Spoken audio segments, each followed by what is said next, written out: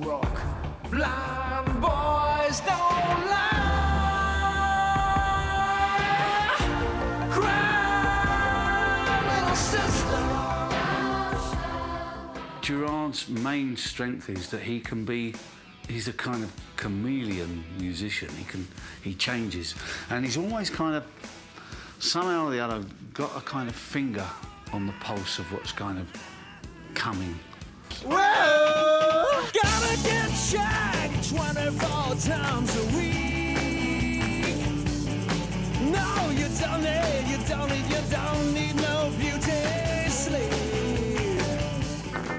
Nothing really surprises me in terms of what genre, genre of music you may find Gerard's talents in because he's a creative person. Key to the film was the music. I, I knew this.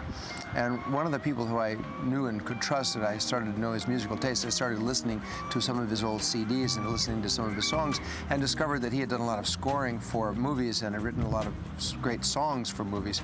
I called Gerard. He's a writer, he's a performer, and he's a producer. Gerard's multifaceted gifts have made him very, very successful in that area.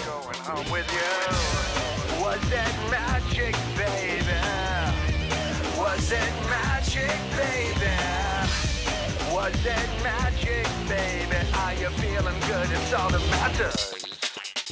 And I also know him as a as a as a writer who, who gets picked up by just artists of all walks. I mean, Carly Simon cuts his stuff to Ice Cube.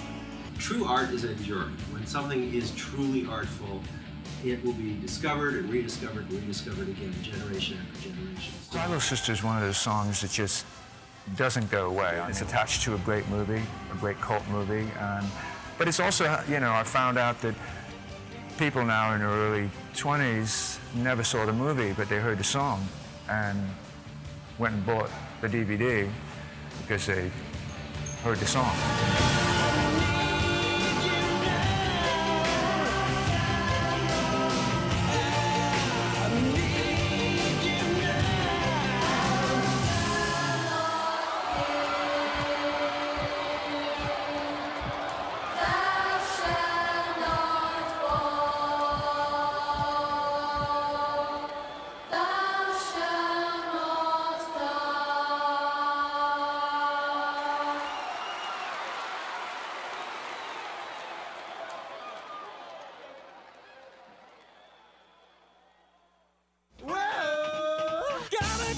Well, gotta get shagged 24 times a week.